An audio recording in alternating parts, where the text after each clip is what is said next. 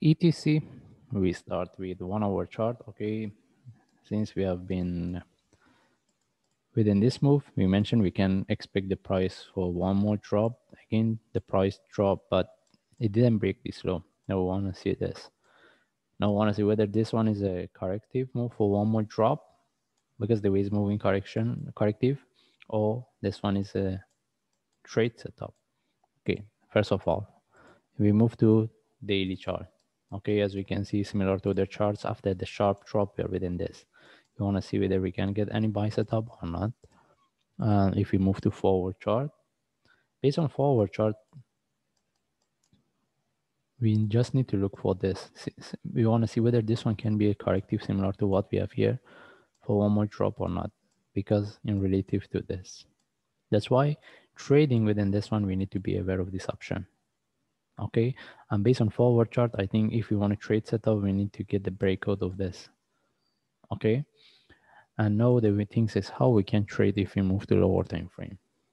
Okay based on lower time frame one of the best option if we want to trade similar to others if we consider this one is a correction turn to a corrective for one more drop breakout of this. Any trade from this we take it as long as the price haven't broke this low because our stop loss will be below this in terms of the risk and reward can give us really good trade.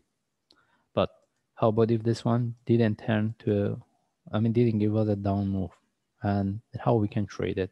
Again, if we want to trade from here without breaking this low, the only things we consider if this one can give a drop a bit because we were looking at this flat relative to this for next move.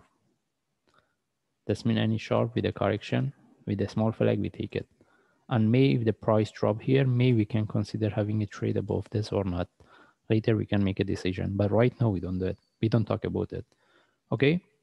That's mean if we get any one any drop similar to what we have here we see this one can be as a flat then from there we look for buy. But if the, this one drop and break this one just know we uh, i mentioned this is what we prefer if we get the breakout. Okay and the another one thinks, how about if this one turn to a flag into relative to this and we get the next move? Can we have entry above this? I don't suggest it because easily this one can tag and reverse. That's why I mentioned if this one give a one drop, then from there we look for buy. And if the price start from here, the first things is we take a breakout of this. We get for the flag, we take it. This is the first option. The another option, if we want to have entry above this, we don't put it here we put it here or here. Okay, we are not going to have entry above this because easily can tag and drop. Okay, by the way, we want to see how this one, whether this is a correction for one more drop or this is the start of the up move. In any way, we just mentioned how we can trade and the best things is we get one more drop because in terms of the risk and reward, any buy easily we can take a trade because we, it's like our risk is really less in compared to taking a trade from here above the top, above here. By the way, we don't have any trade setup. The only thing is we want to see this one can give us one move up.